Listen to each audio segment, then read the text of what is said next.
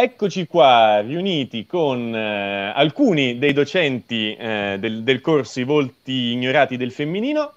E non sono tutti perché abbiamo avuto due defezioni nel, del penultimo minuto.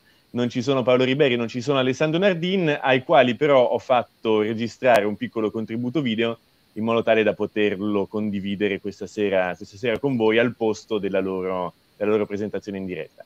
Quindi siamo qua con i docenti di Aretus Academy che parteciperanno a questa rassegna di corsi. Sono sette lezioni, è un, è un corso grande dedicato al, al, femminino e sono sette lezioni in cui interverranno sette docenti differenti, una lezione per ogni docente. Sono i docenti di Aretus Academy che stanno lavorando principalmente quest'anno. Eh, mi, stati, mi, è stato contestato il fatto che la maggior parte del, dei docenti di un corso dedicato al femminino fossero, eh, fossero uomini, fossero maschi.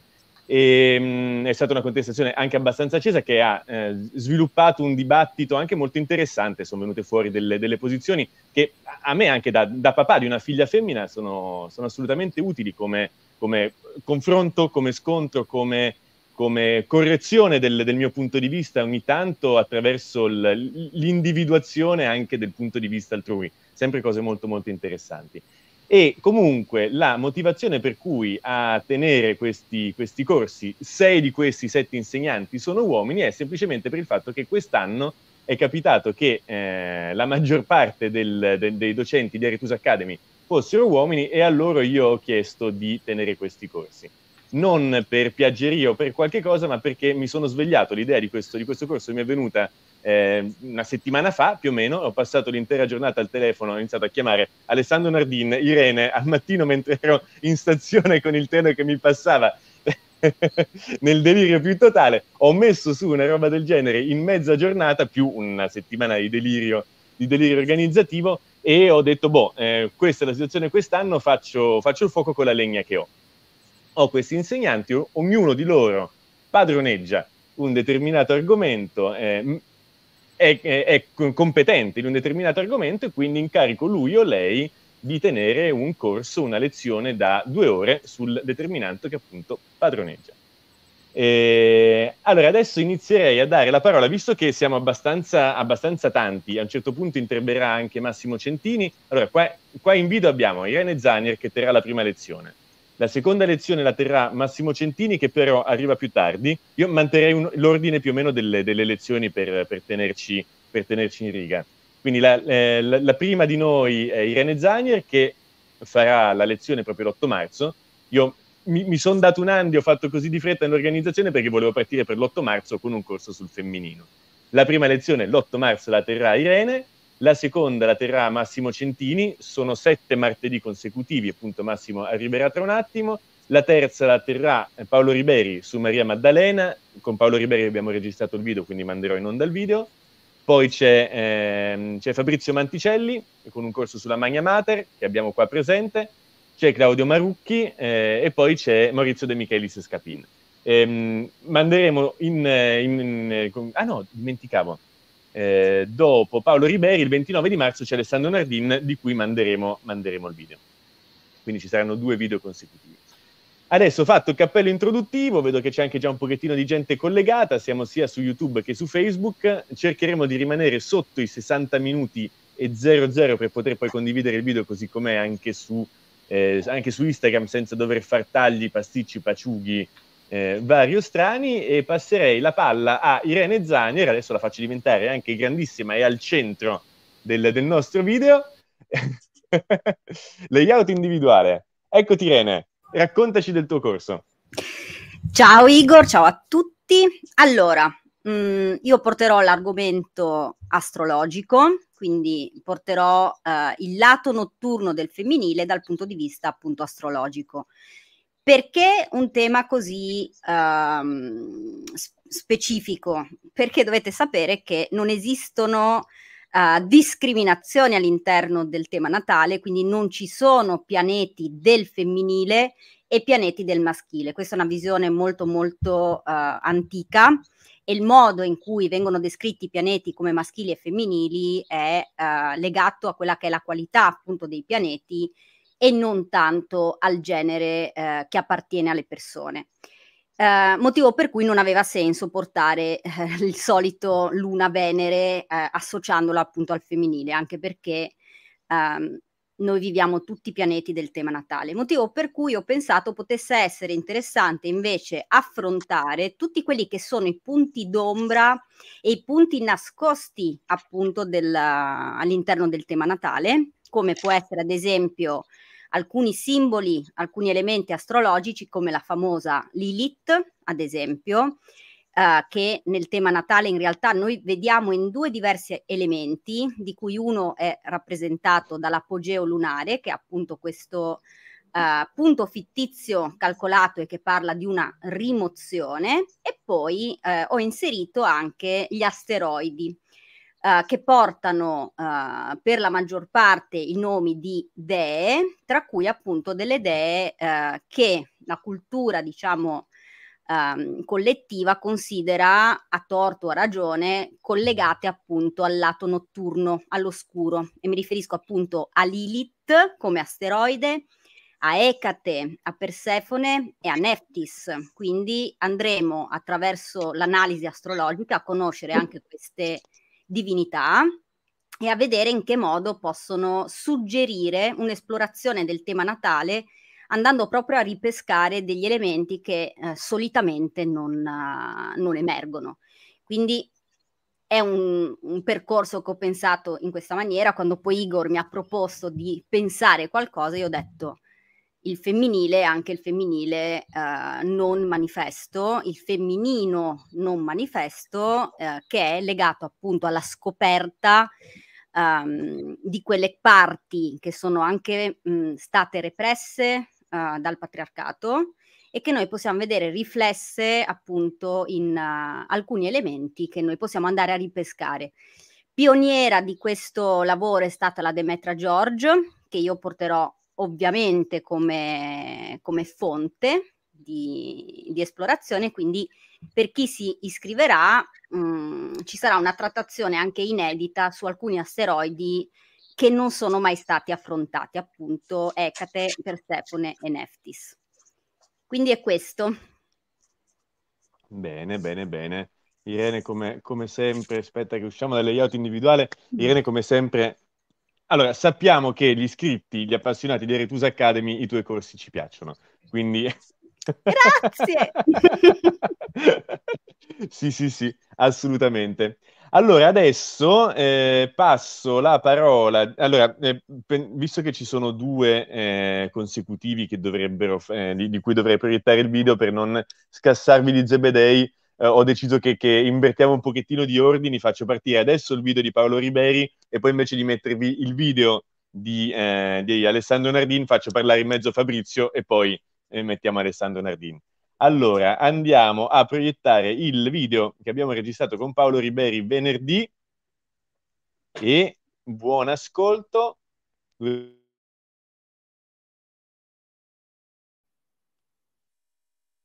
Eccoci qui, qui è venerdì pomeriggio, siamo insieme a Paolo Riberi, abbiamo registrato questo, questo, video invece di farlo in diretta perché Paolo ha un impegno a quest'ora, in questo momento, nel, futuro in cui vedremo questo video. E quindi nel, nello spazio di tempo, nella parentesi di tempo che Paolo ha per parlare del, della sua lezione su Maria Maddalena all'interno di questo, di, questo, di questo, corso a puntate, sette lezioni con sette docenti differenti Ehm, chiederei a Paolo appunto di, di, raccontarci due cose, perché allora Paolo è ehm, un autore, un filologo che ha scritto tutta quanta una serie di libri sull'ognosticismo, in particolare ce n'è uno che da Aretusa ha avuto un successo enorme, mi, mi, diceva Paolo che solo da Retusa ha avuto un successo enorme.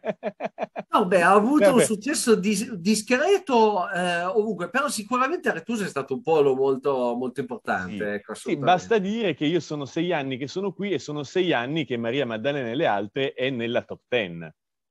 e ci sono stati anche degli anni in cui è stato nella top five, quindi cioè, sì, un, un, un libro che il pubblico di Aretusa ha apprezzato particolarmente. In realtà, eh, a dirla tutta, questa idea del corso da fare, eh, del corso sui incontri da fare eh, in occasione dell'8 marzo su argomento femminile è nata da te. È nata da te, Paolo, che anni fa mi hai, eh sì.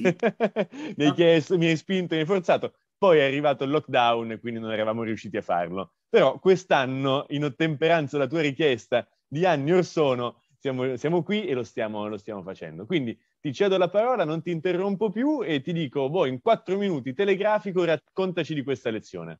Allora, ne sono davvero entusiasta intanto che questo discorso sia andato in porto. Eh, beh, è una lezione che si inserisce in un percorso molto più vasto sul femminino sacro. In occasione del mio intervento metteremo a fuoco un momento particolare nella storia, che è l'epoca dei primi secoli cristiani. Andremo a vedere intanto come la donna era considerata dal mondo cristiano delle origini e poi per contrasto andremo a vedere come la donna era considerata nell'universo del cosiddetto gnosticismo o degli gnosticismi perché erano movimenti paralleli in realtà, non organici, non coordinati e non gerarchici. Sappiamo che in questi contesti c'erano donne che battezzavano, donne che amministravano i sacramenti, donne sacerdotesse. Addirittura però abbiamo qualcosa in più. Abbiamo nella stessa eh, costruzione sacra dello gnosticismo una figura mitica, di mito storica in realtà, di fondatrice, che è Maria Maddalena. Beh, su Maria Maddalena sono stati scritti i proverbiali fiumi d'inchiostro. Era la compagna del Signore, era la moglie di Gesù, era una discepola, era una prostituta, veramente eh, è un mare magnum di informazioni. Nel corso del mio eh, intervento, nell'ambito di questo corso proposto da Retus Academy, andremo a fare chiarezza. Andremo a fare chiarezza non, io non ho la pretesa di spiegarvi chi fosse Maria Maddalena. Quello che posso dirvi da storico è che cosa le fonti ci dicono su Maria Maddalena. Quindi andremo a aprire le testimonianze storiche e andremo a vedere come Maria Maddalena eh, è rappresentata nel mondo cristiano e nel mondo gnostico. E questo sarà un'occasione per andare più a fondo sia sul ruolo della donna in entrambe le comunità, sia più in generale su come entrambe le comunità recepivano la figura del femminino, quindi della femminilità in senso ampio. Per i cristiani il divino è maschile, le figure di riferimento sono maschili, il Messia è maschile, le, eh, gli apostoli sono figure maschili. Nella Gnosi le cose sono un po' diverse, perché non c'è solo Maria Maddalena che una figura femminile, ma abbiamo anche una sorta di messia femminile, che è Sofia, e abbiamo anche una figura divina femminile, abbiamo un volto femminile di Dio, abbiamo una grande madre. Ecco, tutto questo cercheremo di farlo stare in due ore e di dare una panoramica eh, storica su questo cristianesimo alternativo che si faceva discendere dall'insegnamento di Gesù e che per quanto ne sappiamo potrebbe essere il vero insegnamento di Gesù, visto che Gesù non ha lasciato nulla di scritto. Abbiamo due movimenti che si contendono l'eredità di Gesù. Sul tavolo ci sono tante cose, ma uno dei fattori di divisione principale è il ruolo della donna. La donna deve essere segregata, dice San Paolo, deve amministrare i sacramenti e deve avere un ruolo di leadership, dicono i testi gnostici. Maria Maddalena che figura era? Chi era? Cosa c'entra in tutto questo? Proveremo nell'arco del, della lezione a capirne di più e a capire cosa lega questo alla visione del divino divino che purtroppo un, usiamo il maschile, ma in realtà è un neutro, del principio divino, che può essere maschile o può essere femminile. Eh, non ci deve stupire perché nel mondo greco figure femminili ce cioè, sono un bel po', nel corso del corso si sentiranno veramente tutte le declinazioni del femminino. Quello che eh, ritengo possa portare questa lezione come valore aggiunto è l'ambito giudaico-cristiano, perché l'ambito giudaico-cristiano è sempre stato, ed è tuttora, molto patriarcale e in una storia millenaria di patriarcato si apre una finestra legata al mondo femminile che dura 200 anni. Forse anche questo ha portato gli gnostici a sparire, erano scomodi, lo vedremo nel corso dell'incontro. E ti ringrazio tantissimo e per lo spazio e per l'occasione. Grazie mille a te Paolo, qui dal passato è tutto, ritorniamo nel futuro. E... e a presto e grazie. E ciao. ciao. ciao.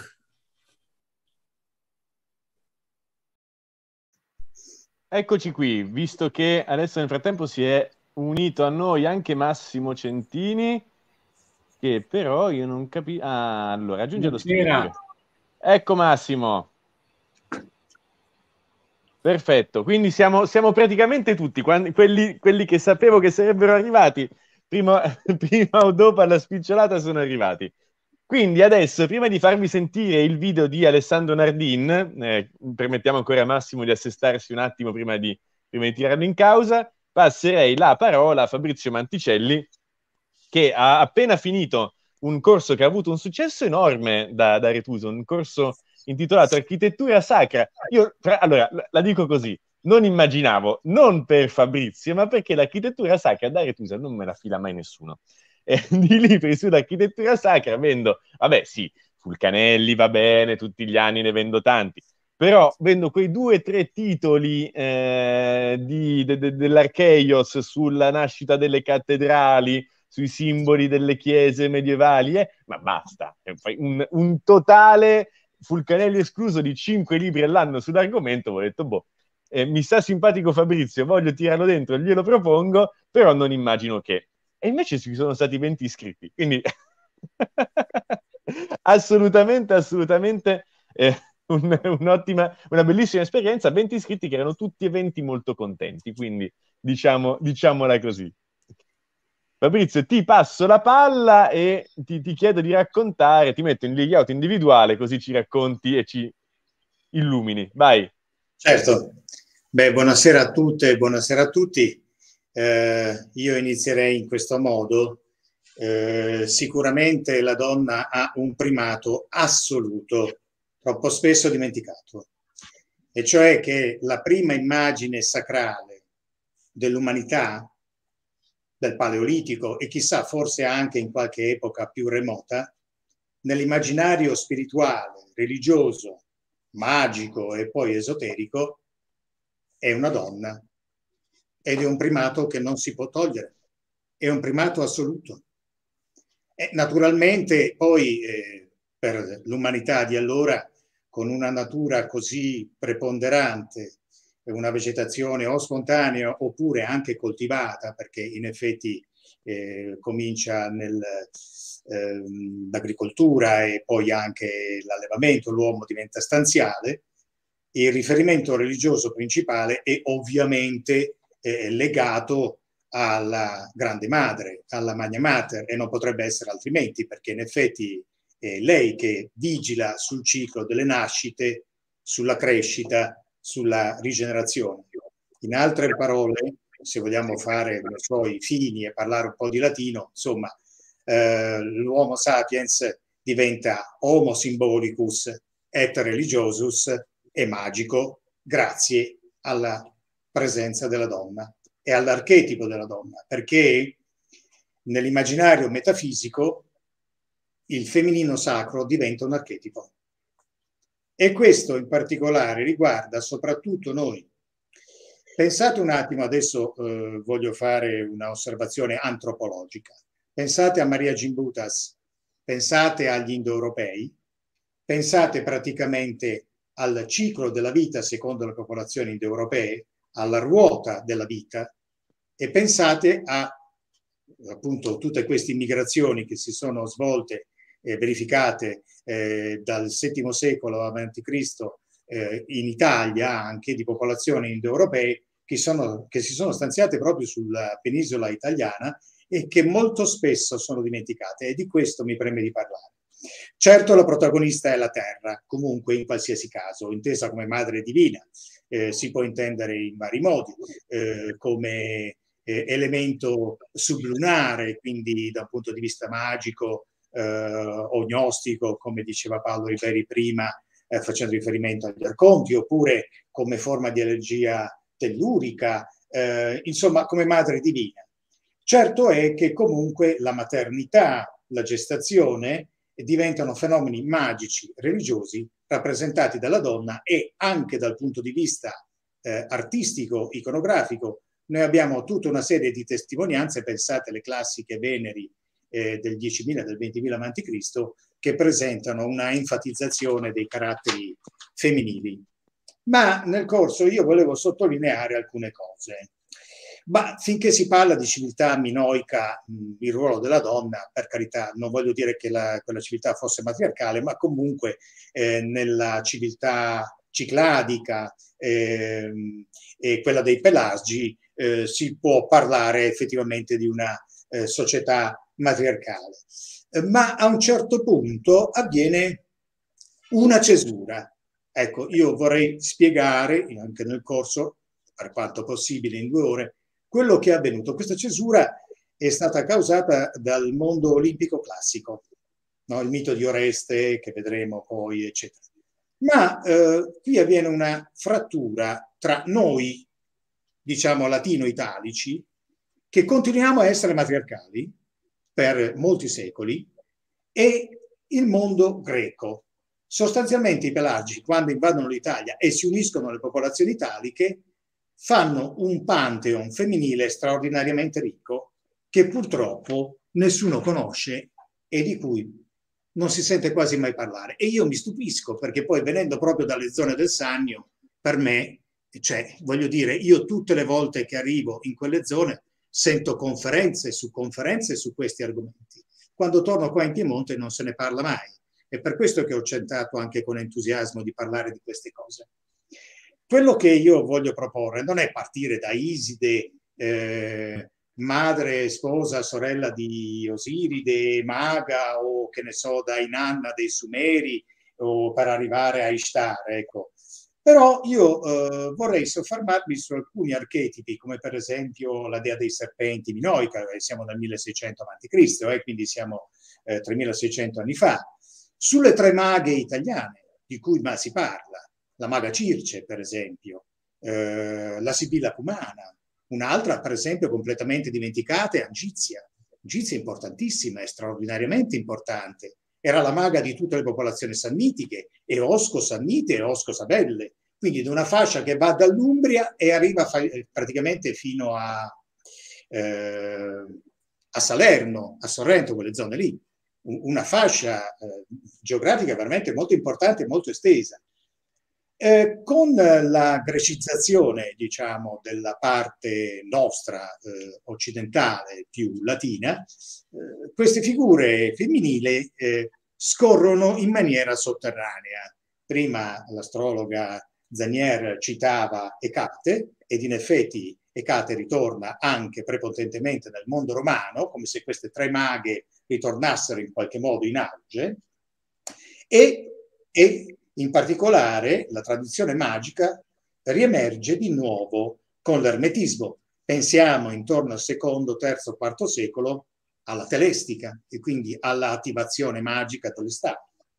Insomma, alla fine, in ultimo, io poi concluderei con qualche esempio classico di archeologia, ma non roba alla Peter Colosimo che ti fa vedere delle cose strane e che ti dice che sono gli UFO o robe varie. No, no, roba che anche in Italia, ma che nessuno conosce.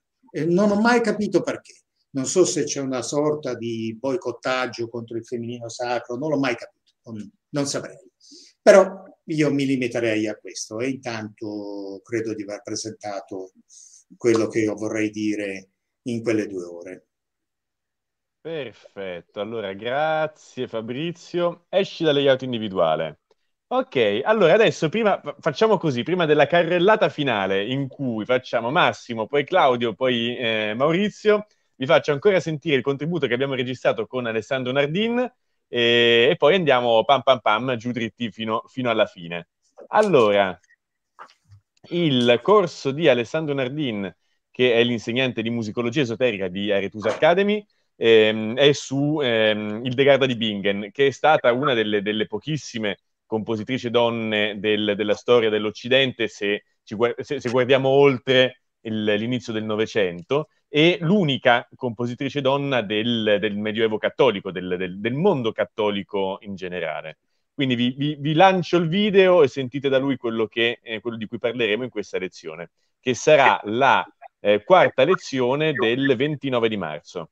Bene, carissimi amici della libreria Retusa, Igor, compagni di correlazione, tutti quanti, vi ringrazio, mi scuso per non essere con voi in diretta stasera, ma eh, come vedete eh, sono un attimino fuori sede nella bellissima cornice di Bresanone e stasera, mentre voi adesso mi state ascoltando, starò rientrando in un terrificante treno affollatissimo in quel, in quel di Milano. Quindi anticipo un attimo la mia presentazione eh, raccontandovi brevemente allora di che cosa eh, avremo intenzione di parlare nel, nel, corso del nostro appuntamento speciale dedicato al femminino eh, nelle sue diverse eh, accezioni.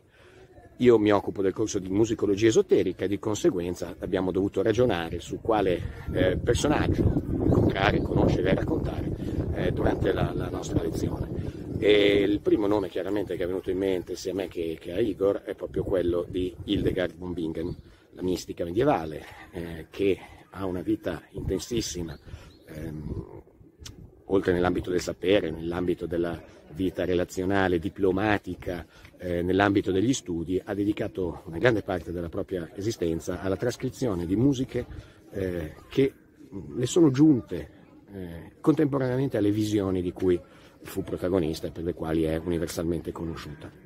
Eh, di conseguenza faremo un flash fondamentalmente nell'ambito del dettato musicale che può eh, aver caratterizzato quel genere di musica, perché non dimentichiamo che il De Garda chiaramente si mette a confronto con una musica pre-artistica, una musica pre-artistica, pre-razionale, pre-personalizzata, in cui il ruolo del musicista non è che quello di tramite fra eh, un mondo superiore sonorizzato, eh, di suoni mh, intraducibili in linguaggio umano, e un mondo inferiore che invece a quei suoni ambisce. Di conseguenza Hildegard è una delle poche autrici anche con una firma, con un'attribuzione riconoscibile, cioè si sa che quelle melodie sono sue e non di altri. Eh, di conseguenza diciamo che mh, la musica in questo caso fa da tramite verso le sfere superiori eh, e quindi il femminino è eh, il femminino, il femminile, la donna in questo caso è tramite al pari dell'uomo per la eh, narrazione di un eh, quadro abbastanza mh, coerente eh, di perfezione, di perfezione spirituale, di misticismo eh, e eh, teologicamente anche fortemente orientato a un senso di tradizione eh, ufficialmente riconosciuta. Ecco, parallelamente, più che parallelamente anche in modo completamente, a volte se vogliamo possiamo anche dire diametralmente opposto, ecco. Eh, il femminino non è solo questo, cioè non è solo un femminino subordinato al, al, a una visione teologica ben definita, non è solo un femminino eh, dedicato alle religioni rivelate, eh, soprattutto non è un femminino cattolico, perché il femminino deve essere per sua natura pre, contemporaneamente e post-confessionale. Eh, ecco, eh, come inquadrare quest'altra definizione del femminino? Cioè non più la Vergine Maria ma Maddalena, eh, non più la Iside solare ma la eh, Iside lunare, non più Eva ma Lilith. Eh, e quale figura potrebbe in un certo senso essercene rivelatrice? Ecco, per contrasto e per, appunto, per contrapposizione riguardo a Hildegard, eh, narreremo qualcosa, la confronteremo con la mistica medievale a proposito di Emma Calvé, il soprano Emma Calvé, la cantante Emma Calvé, che fu una protagonista indiscussa del rinascimento occulto parigino di fine Ottocento. Attorno a lei ruotavano tutti i più grandi eh, occultisti dell'epoca, grandi artisti, grandi interpreti, eh, della, della nascita esoterica, eh, talmente differentemente delineata che occorre effettivamente fare eh, un po' di ordine. Ecco, magari ci proveremo, non ci riusciremo, ma ci proveremo perché eh, attorno a Elma Calvé almeno ci sono due figure di straordinaria importanza. Una è quella del famoso Abate Sonier, che con lei ebbe assolutamente un qualche tipo di relazione e l'altra è quella di Claude Debussy, il compositore esoterista per eccellenza, che conobbe Emma Calvé e che comunque frequentò i suoi stessi ambienti. Quindi abbiamo un femminino proteso verso le sfere celesti e un femminino ctonio che brama di tornare alla luce e di fare sentire la propria voce.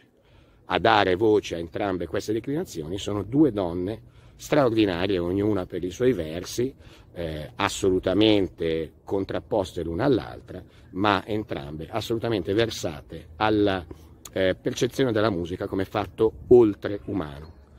Spero di vedervi abbondantemente presenti nel nostro incontro, ci racconteremo, ascolteremo, spero anche che ci si diverta e intanto saluto tutti quanti e buona, buona continuazione. Ciao! Eccomi, mi scuso, ci, ci, ho messo un attimino a capire come potevo togliere, togliere l'eco e il, e il rimando. E, allora, quindi io direi di passare la palla a Massimo Centini che terrà il secondo incontro, quindi secondo martedì. Vi ricordo che il corso è articolato in sette incontri con cadenza settimanali di due ore ciascuno partiamo l'8 marzo per ovvi motivi con Irene Zanier e poi andiamo avanti mar- eh, di martedì in martedì una, una, settimana a testa a parlare di, eh, de, de, del femminino declinato all'interno della materia di specializzazione del singolo docente.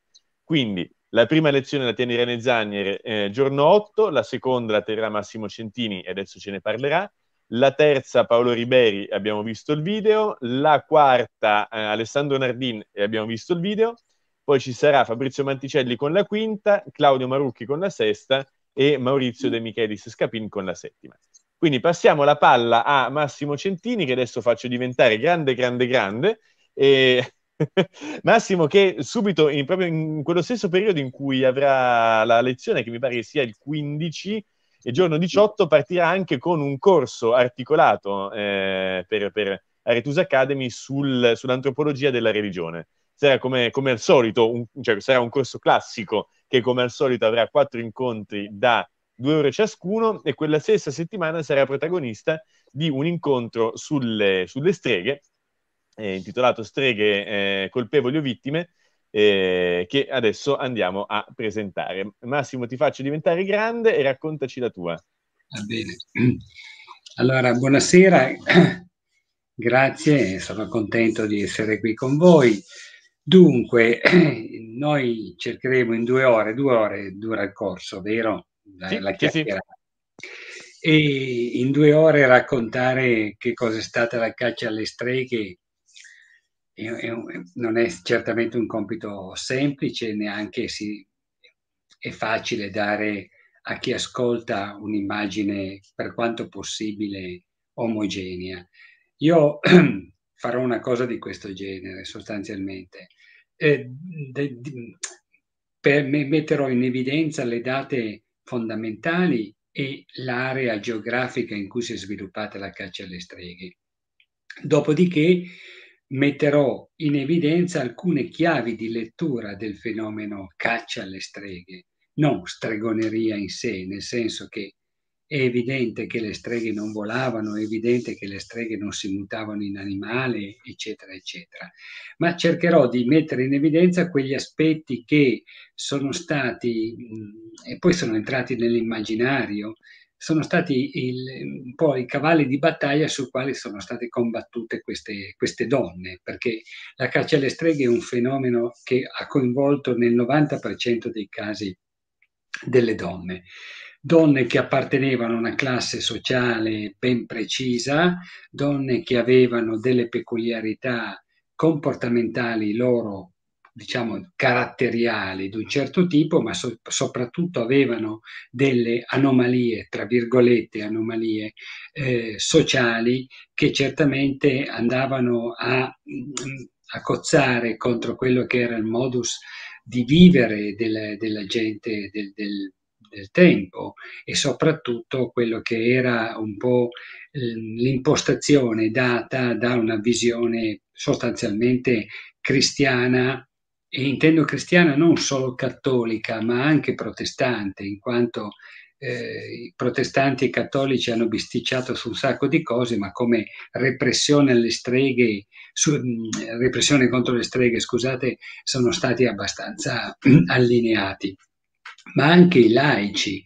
Eh, io nella mia modesta ma lunga carriera di, di, di, di studio sul, sulla stregoneria ho veramente letto tanti, tanti processi e devo dire questo, eh, non riesco ad avere una visione centrata come spesso si, si nota nella bibliografia. No? La bibliografia spesso è eh, condizionata da eh, scelte, ideologie che girano a seconda appunto del tipo dell'autore, eh, del, della visione dell'autore, verso una demonizzazione del cattolicesimo, del cristianesimo, court, ma soprattutto del cattolicesimo, da un altro l'enfatizzazione di queste donne fino a rigettarle in visioni e, e come dire, in, in schizofreniche neointerpretazioni della Wicca o di cose del genere.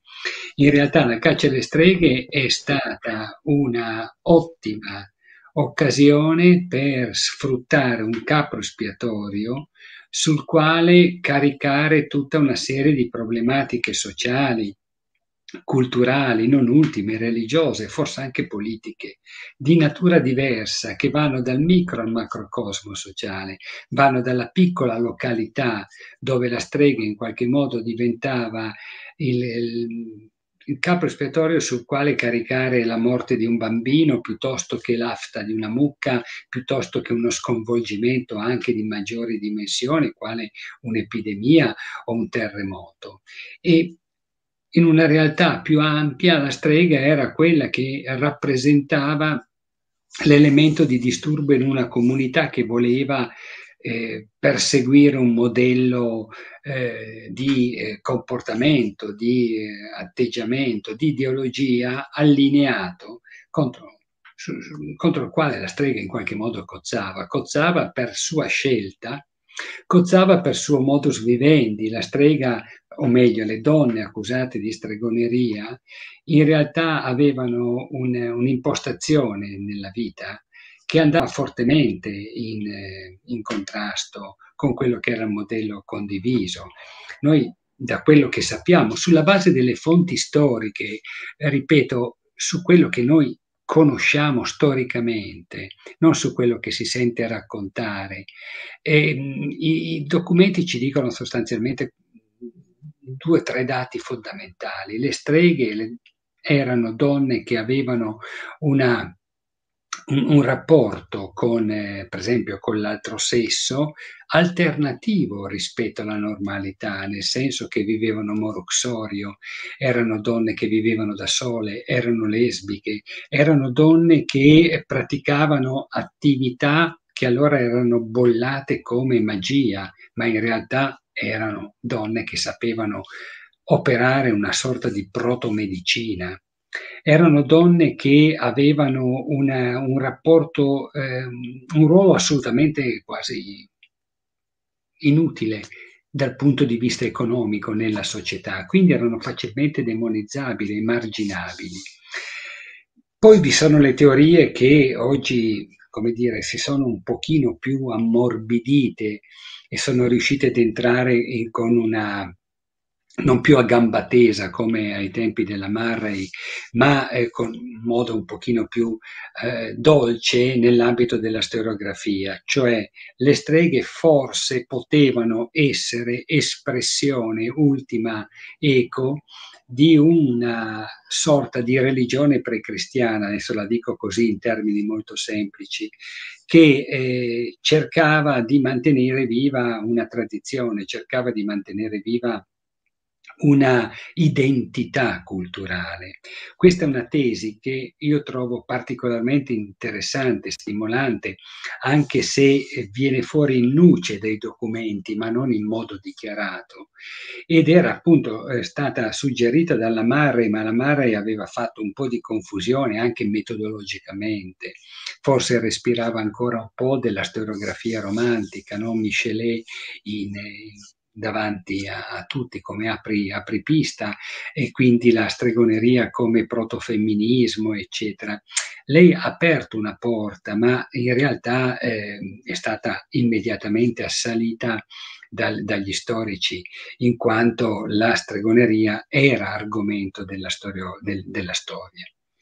In tempi più recenti, Carlo Ginzburg negli anni 60, con un, secondo il mio modestissimo capolavoro, un, un capolavoro me, di metodologia soprattutto, che i benandanti, ha eh, aperto un'altra porta, ma con una visione decisamente più scientifica per molti aspetti e decisamente più eh, documentata della Marray, che eh, ha ipotizzato questa possibilità che dietro alle accuse di stregoneria vi fossero anche, non solo, delle esperienze di, provenienti da tradizione eh, precristiana, una tradizione precristiana blindata dal, dal, cristianesimo, ma rientrata dalla finestra attraverso una sorta di manifestazione che potremmo definire semplicisticamente folcloristica. E, eh, in questo si è mantenuta ed è un tema di grande interesse. Tenete conto che noi eh, abbiamo una quantità di, di fonti, ma è un tot, non è tutto. Non abbiamo dei numeri precisi, chi parla di milioni di steghe bruciate parla tanto così per fare scena, ma non ne abbiamo dei numeri. Abbiamo dei numeri ma che non sono, sono relativi e poi cambiano da area a area. La stregoneria del, del Friuli, la stregoneria del Veneto non è la stregoneria del Basso Piemonte, non è la stregoneria della Liguria. È vero, sono, le accuse sono le stesse, ma cambiano i contesti, anche perché la stregoneria è un fenomeno sostanzialmente contadino. La caccia alle streghe si concentra in aree, scusate, in aree prevalentemente contadine. Fatto 100 il numero dei casi, 80 sono in area agropastorale. Il resto è più, in, più cittadino, ma sicuramente in misura minore. In tutto questo la donna che cos'è? La donna è sostanzialmente una vittima, ma anche una protagonista, nel senso che molte donne praticavano queste, chiamiamoli riti per capirci, con una certa coscienza, erano consapevoli di fare delle cose, forse non erano consapevoli che la divinità che loro in qualche modo eh, consacravano eh, e avevano di riferimento era stata interpretata dai giudici come il diavolo, loro lo chiamavano in modo diverso.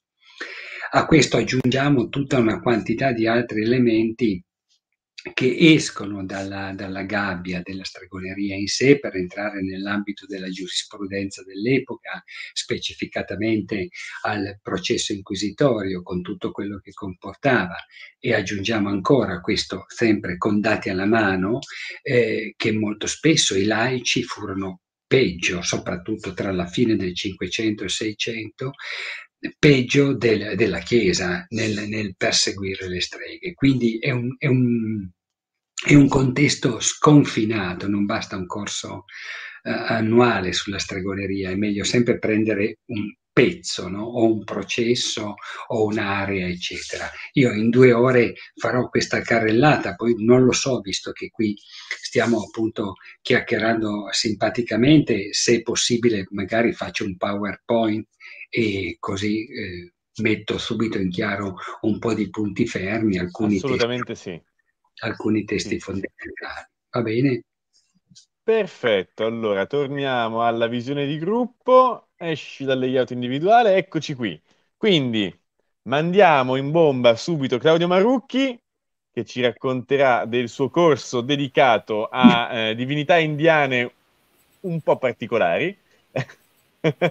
Andiamo direttamente a gamba tesa con Kali, Cinnamasta e Durga e adesso Claudio ci, ci, ci, racconterà bene. Claudio lo, lo, lo conoscete, non serve, non serve, che dica nulla su di lui, è docente ormai affermatissimo come anche Irene eh, di, di, di, Aretus Academy dal, dagli albori, dal primissimo anno.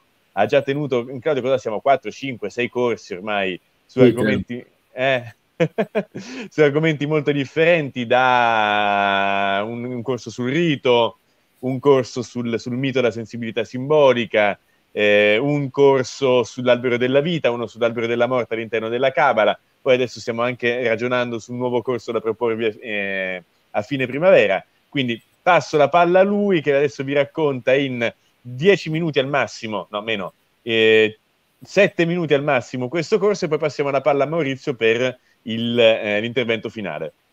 Benissimo. Ti faccio diventare grande, grande, grande e ti passo la parola. Bene, grazie a tutti. Scusate la visione, non ho con me la telecamera solita, quindi devo usufruire di quella del PC che è quello che è. Ehm, ho accettato con entusiasmo questa proposta da parte di Aretusa.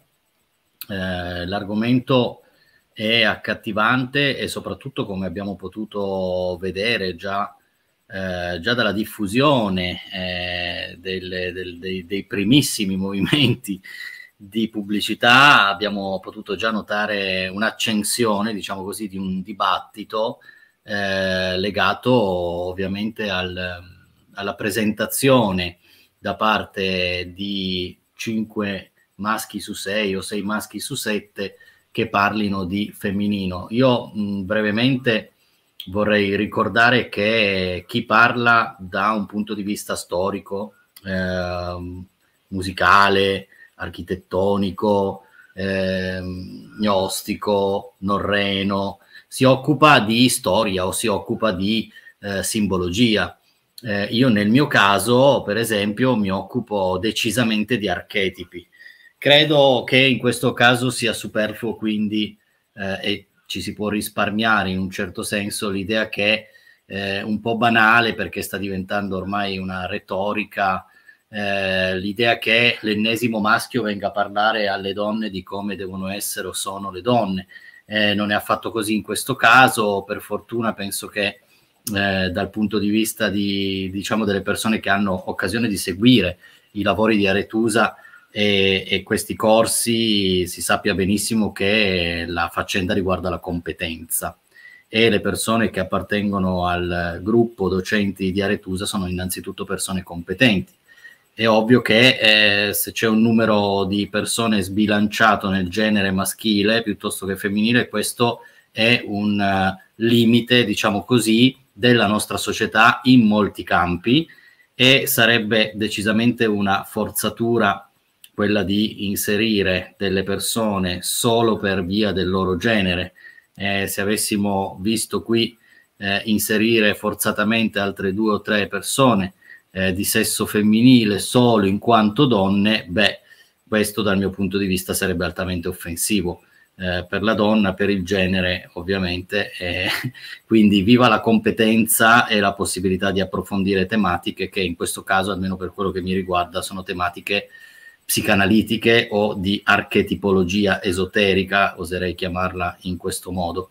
Eh, si tratta sì di analizzare tre figure divine nella proposta eh, che porterò a, a voi, eh, della cultura tantrica. Alcuni di voi sanno che ho fatto eh, questo tipo di studi all'università in ambito accademico e che mi sono laureato proprio su questo tipo di cultura, eh, quella tantrica.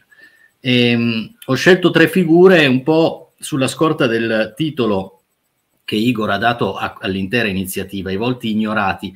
Eh, è vero che ora sono molto meno ignorati, ma al tempo, e soprattutto in India, eh, queste divinità di cui parleremo eh, sono considerate divinità scomode, una addirittura Kali, che forse è la più nota delle tre, eh, almeno da noi in Occidente oggi, Kali non è presente nei testi sacri dell'antichità.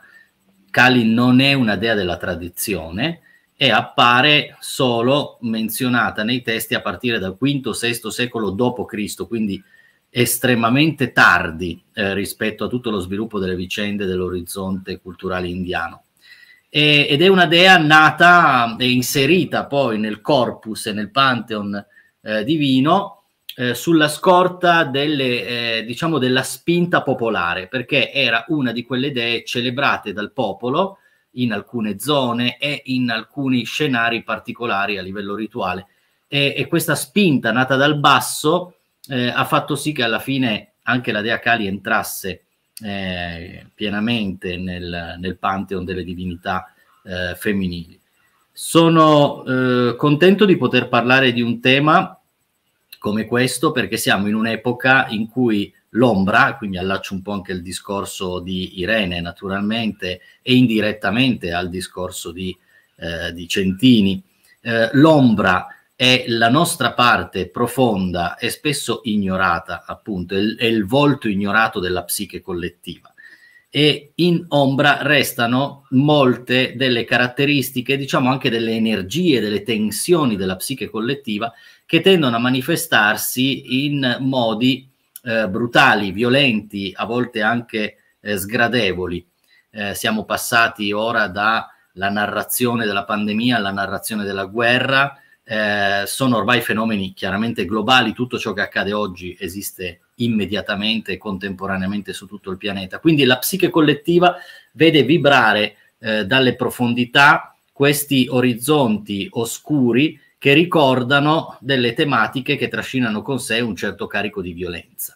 Noi cerchiamo di rigettare indietro tutto questo, siamo eh, programmati eh, per ricercare la sicurezza ed evitare eh, le zone pericolose, eh, però no, sappiamo anche di non poterlo fare ad oltranza. Quindi a un certo punto un confronto con queste realtà, un confronto con la simbologia o l'archetipologia dell'ombra diventa necessario, diventa uno step fondamentale soprattutto per avviare un dialogo che favorisca uh, l'integrazione di queste parti, per non rimanere continuamente scissi e quindi continuamente vittime della potenza di questi archetipi che di tanto in tanto nella storia, come sappiamo, si fanno sentire. Si fanno sentire in modo non troppo dialogante, appunto, cioè emergono in maniera esplosiva e noi, la, la coscienza collettiva è costretta a subire eh, l'intensità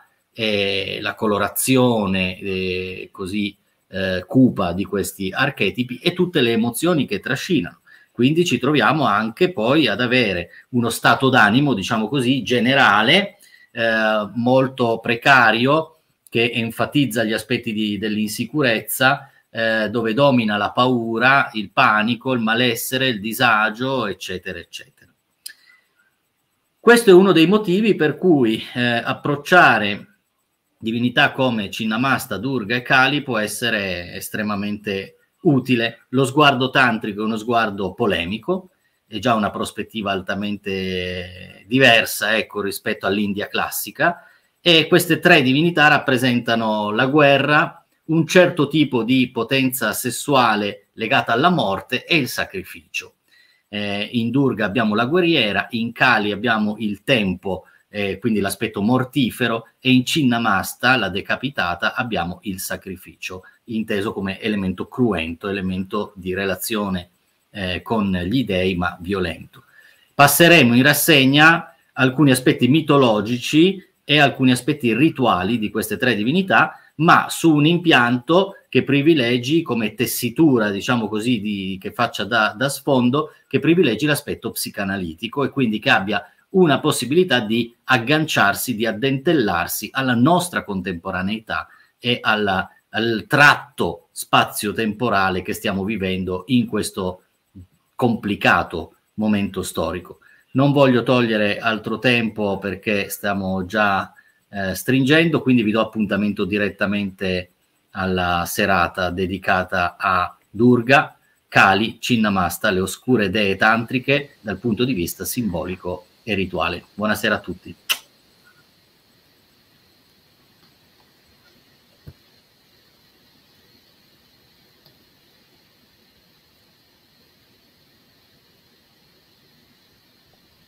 Grazie Claudio. Dicevo, passo la palla all'ultimo al volo a Maurizio che parlerà del, del suo corso. E poi, ehm, superata l'ora, se ci sono delle domande. Allora, io non vedo né commenti né domande. Alle volte StreamYard fa questi scherzi. Se c'è qualcuno di voi che non sta lavorando sul, sul telefono, tipo Irene, mi pare tu abbia il telefono spiccio. Il telefono sì, sì, non ci, vuoi... sono, non ci sono domande. Ok, ok, perfetto. Almeno capisco se è vero che non ci sono oppure no. Allora passo la palla a Maurizio, ultimi 5 minuti e poi nel caso dopo e poi io con Instagram mi organizzo. Maurizio, 5 minuti al volo. Eccoci Grazie, qua. Grazie. Buonasera ah, scusate, aspetta, vi faccio un attimino, aspetta, né? Eh, per dire ancora una cosa su Maurizio, eh, mercoledì comincia il suo corso sulle rune, se qualcuno di voi se lo fosse perso, sono 12 settimane da due ore a settimana in cui verrà analizzata una runa all'ora proprio a, a, a legnate. Quindi se vi interessa è veramente un corso da seguire. Gli ripasso subito la parola. Grazie. Buonasera a tutti. Sì, cercherò di essere il più veloce possibile perché abbiamo ampiamente sforato effettivamente. Eh, beh, intanto mi presento dicendo una cosa fondamentale. Eh, io non vivo in Italia, vivo in Scandinavia. Eh, vedo una realtà eh, sociale molto diversa da quella che vedevo in Italia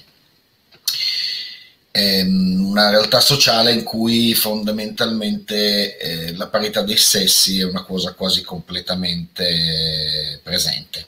Ci sono pochissime situazioni dove, nelle quali non c'è proprio una parità completa, ma in linea di massima le donne hanno lo, lo, stesso rispetto e le stesse possibilità che hanno gli uomini. Cioè, eh, vedo donne manovrare carrelli elevatori o, o, martelli pneumatici e contemporaneamente le vedo dirigere aziende ad alti livelli, eh, anche fondazioni bancarie. Basta anche solo vedere la, la conformazione del Parlamento, no? dei, dei, parlamenti della Scandinavia e si capisce come com'è la situazione. Ehm, questa cosa un pochino mi ha mh, mm, sconvolto, diciamo così, quando sono arrivato qui in Scandinavia, perché non me l'aspettavo, e quindi sono andato a investigare su come mai la situazione fosse così e ho visto che è proprio una caratteristica che risale al passato. E, ehm, andando a leggere i testi antichi, per lo più islandesi, ma ci sono anche altri, altri documenti provenienti dal resto della Scandinavia, per quanto non in gran numero, si vede eh, un pantheon eh, di divinità dove i maschi sono rappresentati tanto quanto le femmine. Eh, adesso nostra, secondo me la nostra società moderna occidentale, che effettivamente ha una visione più diretta verso il maschile, ad aver eh, sottolineato tanto le divinità maschili, Odino, Thor, Loki, penso anche solo ai film della Marvel, no? Di fatto eh, esistono, esiste un gran numero di divinità femminili con molte funzioni diverse, importanti quanto quelle delle divinità maschili non solo eh, nei miti della creazione del mondo, secondo gli antichi norreni, eh, entrano sempre in ballo le figure dei giganti. E I giganti rappresentano delle forze della natura non controllate e non controllabili. Ma i giganti sono tanto maschi quanto femmine e sono chiamati con i loro nomi. Ora, io ho una formazione accademica di tipo linguistico, per cui ho trovato molto interessante anche andare a scoprire eh, il significato di questi nomi, riferendosi all'antico norreno, eh, ovviamente. E si nota che eh, genericamente parlando, insomma in maniera molto, molto generalizzata, i giganti di sesso maschile sono delle forze più di carattere distruttivo, quelli di sesso femminile invece sono delle forze più di carattere creativo. Altre figure interessanti possono essere quelle delle Valchirie, che noi conosciamo per la mitologia di, di Wagner, del, del, del, ciclo dell'oro del Reno, o per molta, molta fantasy o fantascienza, chiamiamola come vogliamo, dei, degli ultimi decenni, ma che in realtà sono delle figure di carattere iniziatico nell'epica, perché si ritrovano prettamente nell'epica. Quindi vediamo che esiste nel, nel mondo norreno anche eh, una serie di processi di crescita del, dell'uomo e della donna che vengono amministrati tramite dei miti che si rifanno a delle divinità. E scopriamo che le divinità femminili sono molto più presenti nella, nella loro funzione di iniziatrice di quelle maschili. In questo senso troviamo un, um, dire, l'alta faccia della medaglia nel mondo materiale, nella vita di, di que- quotidiana di queste popolazioni nordiche antiche, perché ehm, la sostanza magica per eccellenza nel, nei processi iniziatici antico-nordici è la bevanda sacra, l'idromele o la birra. Storicamente è stato dimostrato che ehm, la produzione di questa bevanda era affidata fondamentalmente alle donne. Nel mondo pagano, neopagano, odierno, di fatto quando si compiono i rituali in cui si eh, prevede l'utilizzo e il consumo di una bevanda che può essere idromele, birra, mh, succo di mela, qualunque tipo di bevanda, normalmente è una sacerdotessa a presentarla a tutti i presenti. E quindi vediamo che queste figure divine si riflettono tanto adesso quanto in passato nel mondo poi degli umani. E quindi questi sono fondamentalmente gli argomenti che, che vorrò esporre nell'incontro che mi è stato affidato, eh, considerando poi anche alcune figure particolari, tipo quella della veggente o altre figure di carattere iniziatico di tipo femminile. Ecco, adesso non entro troppo nel, nel dettaglio perché il tempo è finito, quindi vi saluto, vi ringrazio, buonasera.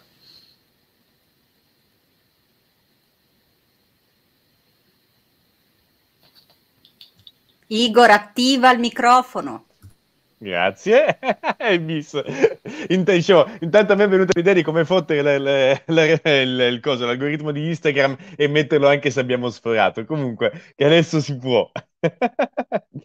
Quindi, allora, se ci fosse qualcuno che ha delle domande, è il momento di farle, oppure se qualcuno vedesse poi il video successivamente, eh, le può fare, fare, per iscritto all'interno dei commenti, tanto noi rispondiamo, eh, discutiamo, ci interroghiamo, ci confrontiamo e tutto quanto. E, e boh, io sono, sono, molto contento di questa serata come è venuta. Mm, sì, sì, sì, sì. I corsi, dicevamo, partono l'8 di marzo con, con Irene e poi con cadenza settimanale sarà, ehm, saranno sette settimane con sette docenti differenti, un docente per ogni settimana. Eh, quindi parte Irene l'8 di marzo, la settimana dopo c'è Massimo Centini che ci parlerà appunto di streghe, l'abbiamo, l'abbiamo appena sentito, vi faccio il recap generale. La settimana dopo ci sarà Paolo Riberi che ci parlerà di Maria Maddalena, settimana dopo ancora Alessandro Nardini che ci parlerà di De Garda di Bingen, poi entra Fabrizio Manticelli che ci parlerà di Magna Mater, Claudio Marucchi che fa l'infilata su Cali Durga e Cinnamasta e poi in chiusura Maurizio De Michelis Scapin che abbiamo appena sentito che ci parlerà del, delle figure femminili all'interno del, del, mito della tradizione esoterica scandinava. E se non ci sono domande non sono ancora state poste, io vi auguro la buonanotte, visto che sono le 10.20, torno dalla mia bimba sotto che sta guardando Geronimo Stilton e, e, e, pretende la mia presenza. Eh, domani, eh, primo di marzo, la libreria sarà chiusa e poi ci, ci, vediamo, ci vediamo, mercoledì con, con orario regolare eh, dalle 11 alle 18, martedì, come sempre dal martedì al sabato. Eh, vedo che non ci sono domande, quindi libero tutti, lascio andare tutti quanti alle loro faccende o a dormire. e ci Un sentiamo. Abbraccio un abbraccio Ciao. a tutti quanti, ci sentiamo, ci scriviamo, mandate mail, messaggi, piccioni, quello che, quello che serve e, e a presto. Ciao, grazie a tutti. Ciao. Buonasera a tutti, ciao.